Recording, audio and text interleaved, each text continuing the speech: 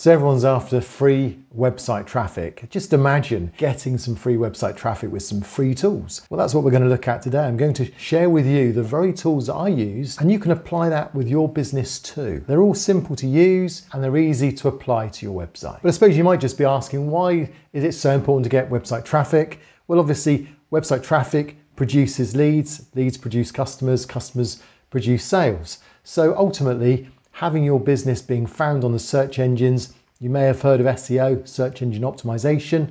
That's the reason why we're looking at these tools to help us to do that, but to do it in an automated way that's going to save you time. If you've ever advertised for traffic, you'll know it costs money and it's an ongoing monthly cost for your business. Free tools you get free traffic and you get it at a cost of nothing. It's organically grown. So give these tools a try and see if they boost traffic for your business too. And for those that watch the end of the video, I've got a real bonus if you want to know how to build a professional website. So the first tool I use is NitroPack.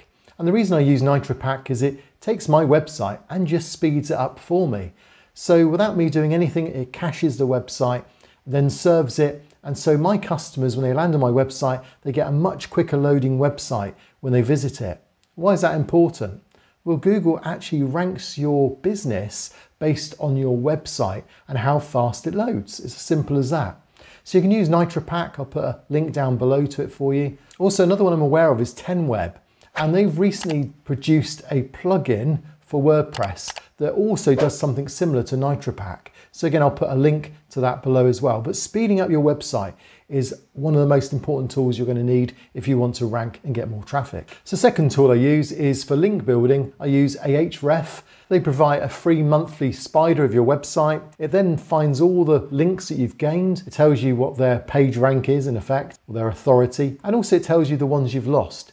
And this gives you an opportunity to go back to those ones you've lost and maybe do a redirect. But It also gives you an opportunity to see who's linking to you, what your competitors are linking to as well. It even suggests ways in which you can link through to other pages to gain more rank. So if you've not used this free tool that comes through to your email each month, then I recommend it. So again, I'll put a link to it down below for you. Now, the third area you're probably needing to look at is email marketing building up a list of potential clients. So, how do you then market to them? How do you tell them about the offers and things that might interest them in the future? Well, it's by building up a marketing list. Now, everyone knows if you just send out emails, it will go and get caught up in the spam filters. But MailChimp is a great way in which you can do it for free. The first 2,000 clients that are listed for free as well, costs you nothing at all. And then you just pay extra if you need more than 2,000. Now, I did a challenge to see whether MailChimp was better than Aweber, whether it was better than GetResponse or Drip. So there's an article I'll put a link to as well, where this article just looked at all the various fors and against with all the email marketing tools out there. And I have to say MailChimp still came out number one from my estimate. But I've done a video as well that will help you to see why I came to that conclusion. So check that out after this video. Now at this point, if this type of video is interesting and going to help you and you're seeing value in it, then make sure you just give it a like down below because that just helps others find this video too. Now my fourth tool is a really interesting one because when I write a blog or a video, I don't just want to use keywords, which is probably what the focus is for most people, but I also want to make it so that it's got some intrigue or some interest, or maybe there's a word that calls them to action. So how do you get the combination of using the right keywords for SEO and at the same time making it clickable to human beings? Well, this is where this tool is fantastic. It's called Headline Studio. It's free. And what it does, it doesn't just give you a headline score by looking at word balance, word count, character count, the sentiment, the clarity, the skimmability even. Is it readable? But it also looks at the SEO score, it makes great suggestions, and it looks to make sure you've got a balance within that headline. And you can then see as you add different types of headlines, it will give you different types of scores. And once you find a score that reflects the information you're going to present in a blog or in an article, then this really helps get the clicks through to it too. If people click through to an article and they then start reading it, that helps you rank and if you start ranking, that's when the traffic comes flooding in. So this is the start really of that process. You might have spent hours on a great article and yet no one clicks it because the headline itself on that article isn't really appealing to the human element. It's all about the keyword element. So this gives you a good balance between the two. Now the fifth tool that I use all the time is Publer. And the reason why Publer is such a great tool is because what it does, it enables people to become aware of when you released a new piece of information. So if I've done a new video or a new blog article, then it just makes sure that people then know it through Twitter or Facebook or LinkedIn or whatever platforms you use socially. To write and to blog and to put all that out on each individual item could take hours. But just literally with one click of a button, Publer does that for me. And the free version gives you five different types of social media accounts. And then if you want more, you can pay for extra. And also CircleBoom is a new one that's come along that I've been made aware of, and I've been using that recently as well in another way, and it's just as good as Publer.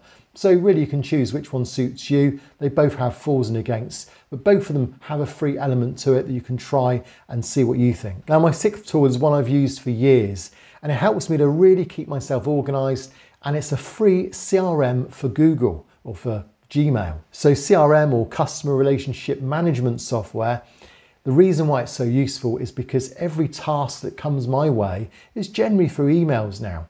And if it's not, I will put it into an email to myself.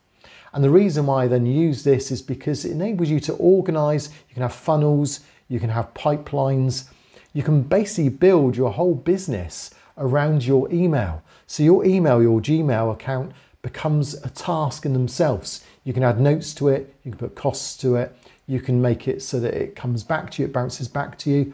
And also you can assign it to other members of your team too. So it isn't just an account for yourself, but you can expand it out to others too. So really helpful. It also means if you've got an email you want to share with someone, you can then just use this clickable link and it becomes shareable to outside of your Gmail account. And of course, with Gmail, you can still bring in your POP3 accounts, your IMAP accounts to all be built into that one client. So if you want to run your business through one Gmail client, I'd recommend using Streak and combining it with a Gmail account. Really powerful and it keeps my inbox zero up together every single day.